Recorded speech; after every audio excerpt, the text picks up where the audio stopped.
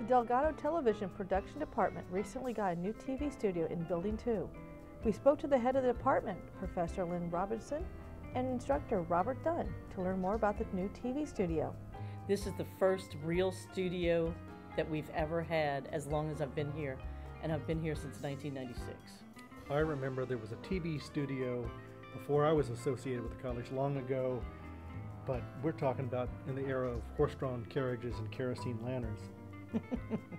Apart from adding a new studio to the department, Delgado also received new equipment, including a new anchor desk.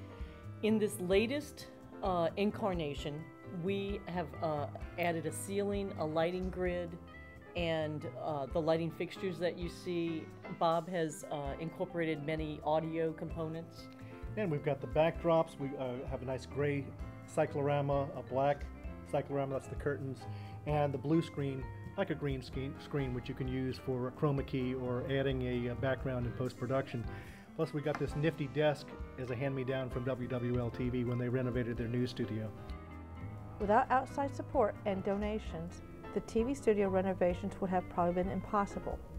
This new studio cost about the entire thing, equipment, uh, lighting, audio, all of the new microphones that we have, we're probably at about a million dollars worth of grants and donations uh, that were given to us. Having a new TV studio not only benefits students and faculty members, but it also benefits many of those outside of Delgado. Many projects are in the works to interact with others outside the television department. We can now train our students on the sort of equipment that they would use when they move into industry. So we now have the facility not only to train people, but we've got the facility to crank out some programs that can be uh, seen by viewers at home. This new and improved studio will provide state-of-the-art opportunities for all who utilize it. We hope you come by. Come by to Building 2, Room 112, Delgado City Park campus. We'd love to see you. We'll see you on TV.